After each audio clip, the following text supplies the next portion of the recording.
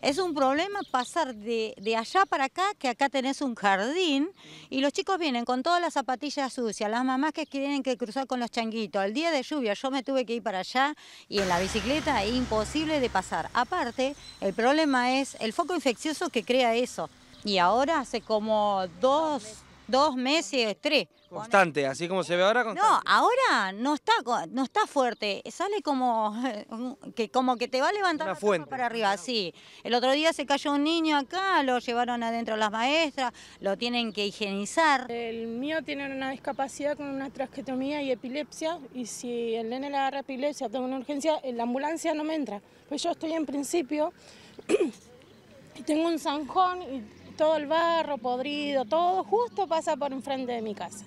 Si yo ya, a mí me pasa algo con el bebé, a mí la ambulancia no me entra. Y esto ya lo hablamos con el delegado, hicimos una nota también, lo pasamos en el Facebook, todo, pero ninguno fue capaz de venir a ver si necesitamos algo, necesitamos que arreglen la calle, nada. Lo que necesitamos es que vengan cada tanto a ver cómo está la calle esa, porque es la boca de desemboque de todo lo que pasa, cloaca, desborde, de Todo termina ahí. todo termina justo ahí en el zanjón, justo que está enfrente de mi casa. Han hecho varios reclamos. Han ido por Magallanes, lo destaparon, pero después siguió igual, lo mismo. Igual pasa el camión que arregla la, la tierra y todo, pero rompe los, ca- eh, lo- las mangueras. Porque y ahí no que pisan ponen nosotros. tierra, raspan lo que hay. Raspan y sacan lo poca tierra que hay buena.